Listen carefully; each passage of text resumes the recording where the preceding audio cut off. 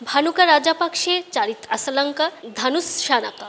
ষোলোতম ওভারে একে একে ফেরালেন তিন লঙ্কান ব্যাটারকে। নতুন একটা ইতিহাস গড়তে যে পাঁচ মিনিটও সময় লাগে না, সেটাই দেখিয়ে দিলেন সংযুক্ত আরব আমিরাতের কার্তিক মিয়াপ্পন। হ্যাট্রিকের তিনটা ডেলিভারি ছিল দুর্দান্ত।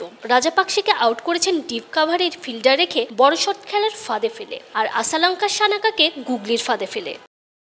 চেন্নাইয়ে জন্ম নেয়া এই লেগ স্পিনার দুই বিশ্বকাপে প্রথম হ্যাট্রিক করেছেন। দেশের হয়েও প্রথম। এমনকি আইসিসির সহযোগী দেশের প্রথম হ্যাট্রিক করা বোলারও এই মিয়াপ্পন। তবে টি টোয়েন্টি বিশ্বকাপে এই নিয়ে পঞ্চমবার। এর আগে দুই বিশ্বকাপে বাংলাদেশের বিপক্ষে সর্বপ্রথম হ্যাট্রিক করেছিলেন ব্রেটলি।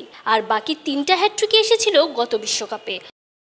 ম্যাচ শুরুর আগে আলোচনায়ও ছিলেন না। মাত্র বাইশ বছর বয়সে অনন্য কৃত্তি গড়া এই বোলারই এখন নেটিজেনদের প্রশংসায় ভাসছেন। কেউ কেউ তো মজার ছলেই বলছেন, লঙ্কানদের মায়াজালে ফাঁসিয়েছেন মিয়াপ্পন।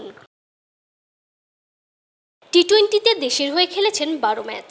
নামের পাশে আছে আঠারো উইকেট। ইতোমধ্যেই নিজের সামর্থ্যের জানান দেয়া এই ক্রিকেটার বিশ্বমঞ্চেও জানান দিলেন, সুযোগ পেলে আইসিসির সহযোগী দেশের ক্রিকেটাররাও কীভাবে ইতিহাস গড়তে পারেন। তানজিম ঐশী all-rounder.